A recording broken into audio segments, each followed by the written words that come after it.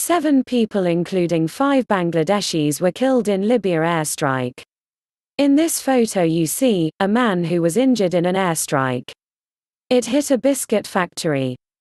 He is treated in a hospital in the capital, Tripoli, Libya, Monday 18 November 2019.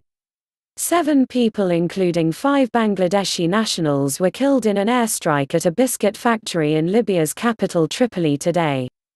News script from the Daily Star. All clips may not match the story. Watch to become bilingual with latest news. The airstrike took place in the capital's Wadi El Rabie neighborhood, south of the city center where fighting has been raging for months, AP reports quoting the Tripoli-based health ministry. Malek Merset, a spokesman with the ministry, told the Associated Press that the dead included five workers from Bangladesh, and two Libyan nationals. The airstrike also wounded at least 33 workers, mostly from Niger and Bangladesh, who were taken to nearby hospitals for urgent treatment, Merset said. Tripoli has been the scene of fighting since April between the self-styled Libyan National Army, led by General Khalifa Hifter, and an array of militias loosely allied with the UN-supported but weak government which holds the capital. Footage shared online showed wounded people with bandages and blood on their legs on stretchers before being taken by ambulances to hospitals. Fighting for Tripoli has stalled in recent months, with both sides dug in and shelling one another along the city's southern reaches. The months of combat have killed hundreds of people and displaced thousands. Libya has been divided into rival governments, with Tripoli controlling parts of the country's west, and a rival government in the east aligned with Hifter's force. Each side is backed by an array of militias and armed groups fighting over resources and territory.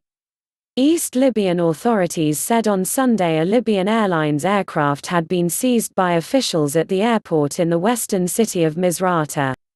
The Tripoli government controls the airport, and militias seen as its political allies occupy the city.